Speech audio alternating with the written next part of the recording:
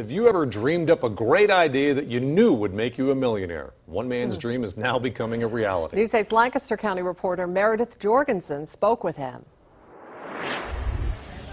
In the garage of this pretty Millersville home, you'll find bikes, old trophies, some laundry, and this. The perfect straw maker. I mean, use it just like a normal straw. 33-year-old Jordan Baldridge is a husband, father of two, and an inventor. After burning himself on a hot cappuccino, As my tongue and roof of my mouth was completely scalded.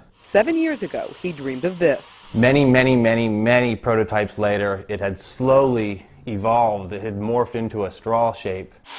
He built the machine that would make the straws.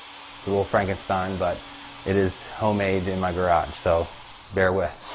But this creation was easy compared to getting a patent. Working on the patent for a long, long, expensive time.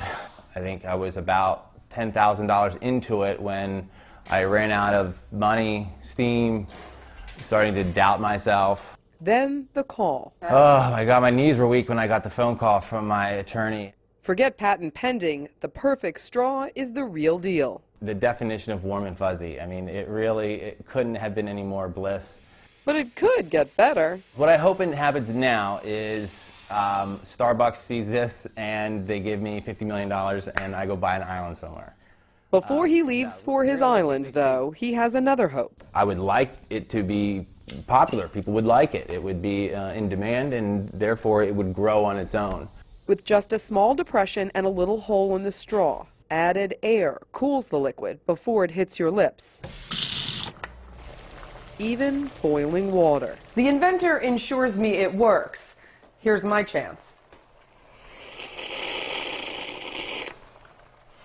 Amazing. In Lancaster County, I'm Meredith Jorgensen for News 8. That is amazing. She's braver than I am, I'll tell you that. Jordan encourages other inventors not to get discouraged and not to give up. Now he's trying to sell the cooling straw to coffee shops and convenience stores. Jordan projects that he can make them 10 for a penny, but would love to sell the idea for as much as he said, $50 million.